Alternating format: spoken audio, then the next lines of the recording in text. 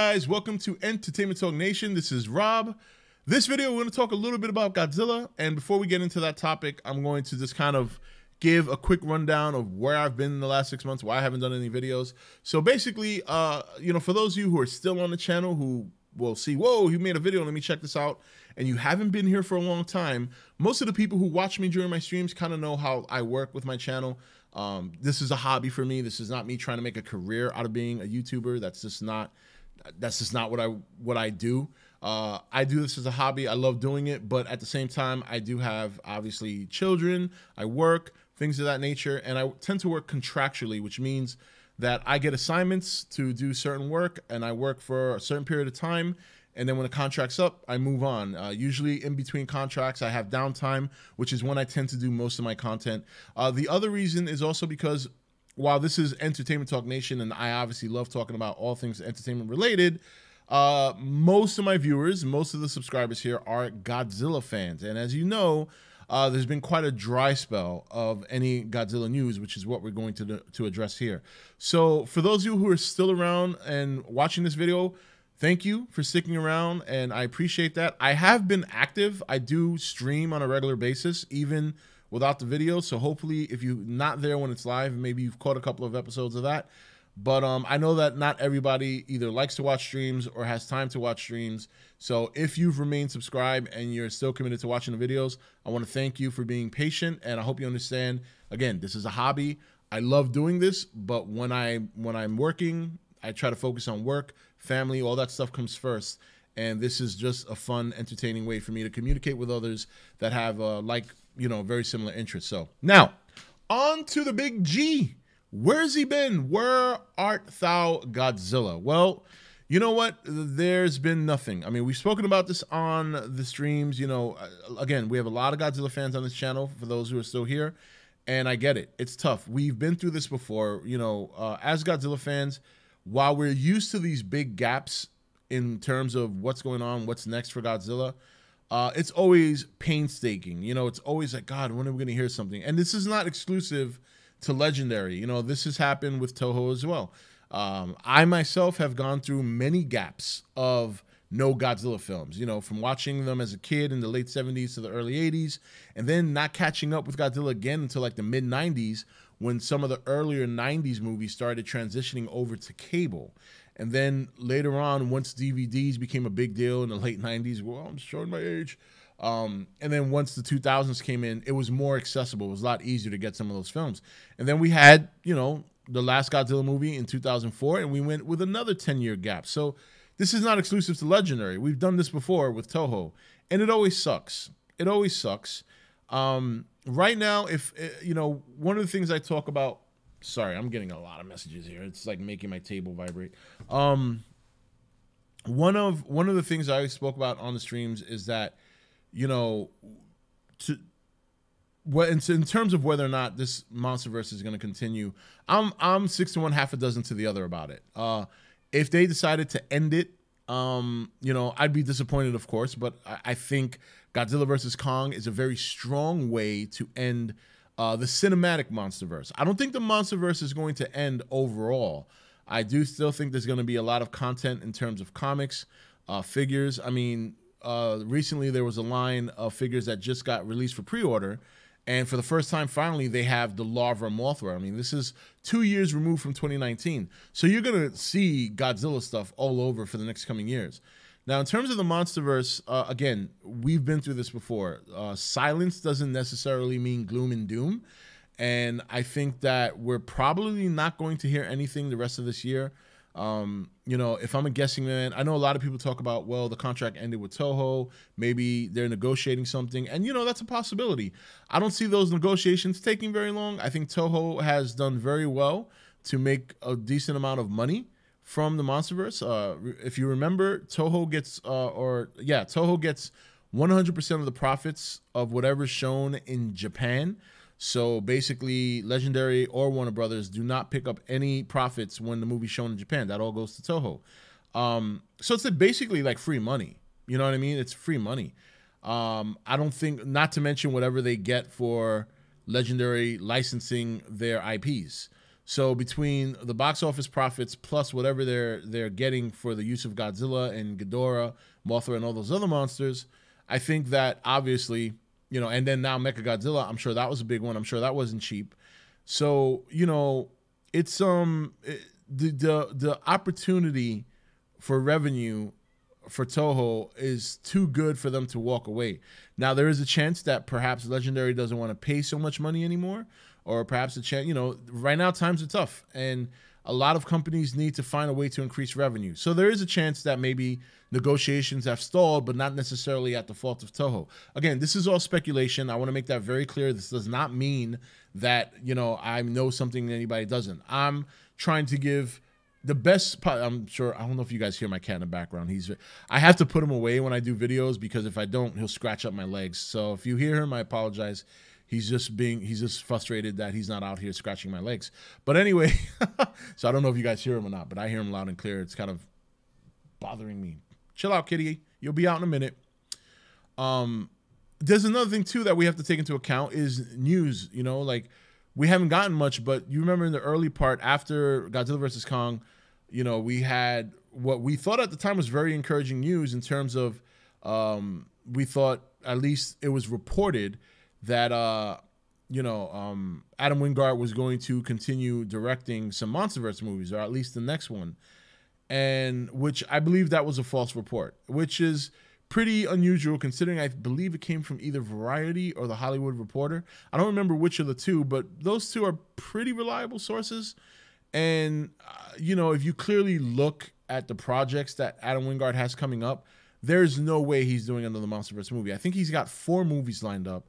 Um, one of them being the Face Off remake or the Face Off, you know, uh, reboot and I know there was at least two other projects. I don't remember off top of my head, but I remember discussing this on stream, saying that while this is an encouraging report, I don't think this is true.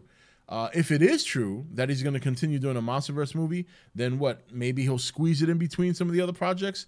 I don't know, but I don't think it's possible because we all you have to do is look it up. We know what projects he's got coming, and none of them include a MonsterVerse sequel. Um, I think I think we're definitely on um, uh, a fork in the road, so to speak.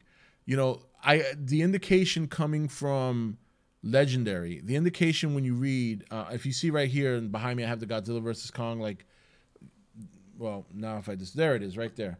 So we read that we read that book on stream once, and towards the end of the book, they were talking about some of the things they look at in the future, and they sounded very optimistic in that book about what plans they have for future movies.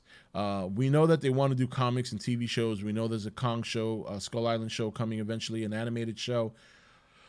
But I think we're at a fork. I think I think they are. There is a decision being made. I think there is a lot of deliberation as to whether or not to do another project. Um, I think the reason for that is number one. Obviously, Godzilla King of the Monsters did not do well at the box office. No matter what anyone tells you, I know there's still people out there that like to sell the idea that it was it did well and it was profitable. It was not.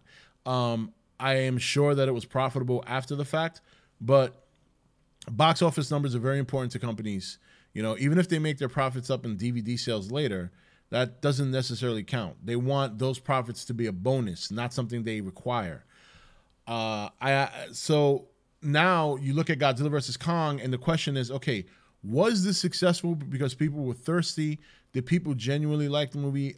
Could we do another one and still have the same success? And I think the question, the answers to all those questions are like yes. I do think the pandemic played a big role in the success and the extreme hype for Godzilla versus Kong. I mean, I've done plenty of Godzilla hype up uh, live streams and videos leading up to the release of a Godzilla movie in the MonsterVerse, and I can tell you right now, the hype for Godzilla versus Kong in many ways, while it'll, never be exactly like it was for 2014, was insane in its own right. Never have I had streams where I had 2,000 people coming in. And yes, I had many streams where we had oh, 2,000, 1,500 people, almost, I mean, it was insane. And people love the movie. People love the movie for better or for worse, no matter what. You know, obviously there was a lot cut out in the movie. We all know that. People love the movie. Um, I do think the pandemic had to play a role in that, but I also think it's it was a fun movie to watch. I think people generally enjoyed it. I mean, I said since the since the moment we were waiting for this movie to come out, these are two screen icons. People will go see this movie. I do think pandemic or no pandemic, Godzilla vs Kong would have been a great success. And I do think there's a chance that Godzilla vs Kong could have hit 700 million at the box office without the pandemic. I, I, I sincerely believe that. I don't think it would. I still don't think it would have made a billion dollars. I don't see that, but I do think it would have been a fantastic success. And I think one. Of, I think Legendary knows that. I think the question is, uh, is the uh, not necessarily question. I think the revelation is that we have to kind of give Kong his credit for that. While we are a lot of us are Godzilla fans and we kind of joked around and messed around with Kong in the movie and understandable, you know, we knew I think pre- people pretty much knew deep down inside Kong wasn't going to win. But where Kong won was kind of maybe changing the course of the MonsterVerse in his favor. Um, you know, we talked about the possibility that the MonsterVerse could continue underneath the name of Kong. Uh, there were rumors that they were talking about a Kong movie, which uh, Son of Kong movie, which I don't believe personally. I don't think that would, in my opinion, be the kind of movie general audiences want to see. I think once you bring kid monsters into these movies, I think you're going to lose the general audience. But hey, I've been wrong before, right? Mecha Godzilla. So, you know, but I do think we have to give Kong credit in terms of what he means to the box office to general audiences. He's going to pull in more general audience members than Godzilla. So I think that Legendary might be looking at this and saying maybe we should um, hand over the reins or maybe if we're going to end this, we shouldn't necessarily put because this is Godzilla's universe. So I don't think they would necessarily convert it over to Kong. They might build a uni- universe with Kong, but I do think if they want to do another MonsterVerse movie, and if they and if they are, I just think it's one more. I don't think we're gonna get a whole mess of them, although we would love that. I think Kong is gonna be included, and I think the question here now is, how do we do this? Do we make them fight again? Do we make them team up again? and how do we make it as entertaining as the the one before it? Uh, so I think there's a lot of deliberation, a lot of questions being answered. I do think finances play a role. I do think, you know, contractually with Toho, what they have worked out plays a role. At the end of the day, no matter what's going on behind the scenes that we may or may not know about, we just have to wait. And we've done it before. And every time we've waited, we have always been met with good news in the at the end of it, no matter how long the wait was. And I think no matter what happens, uh, obviously, I think Godzilla's here to stay. I think that's pretty clear. And even if the MonsterVerse doesn't continue with Godzilla, I do think Toho has incredible plans to do things with Godzilla. We recently saw that nice short with Godzilla versus the Smog Monster. It was a nice five minute short for Godzilla's birthday. I thought that was a lot of fun to watch, although I also believe it showed just how much uh, the suits are are aging. I don't think they play well in high definition. But anyway, guys, that's it for this video. I just kind of wanted to, to do a little catch up and touch up on where we are with the MonsterVerse. Obviously, in terms of news, we know nothing, you know, and now it's just going to wait. I know just as much as you do. Everything I've discussed in this video is basically speculation, but it's also speculation based on prior uh, similarities in terms of waiting, in terms of what happens in the end result. Um, if I had to make a prediction, I think we get one more MonsterVerse that includes Godzilla and Kong and if we get any more monster monster movies in the you know down the road from Legendary, I do think it'll be kind of a new chapter that includes Kong with maybe an opportunity for Godzilla to pop up. But I do think Toho is itching to make their Godzilla product now. And I think that if if anything, that would be the reason they don't resign. But if it's financial, I don't see Toho not uh, extending the contract for at least one more movie. But we'll have to see. Anyway, I think we'll hear something sometime next year. I don't think we're going to hear anything at all the rest of this year. I think if we do hear something, it'll be first quarter next year, uh, at least before the next Comic Con round. Uh, Comic Con round.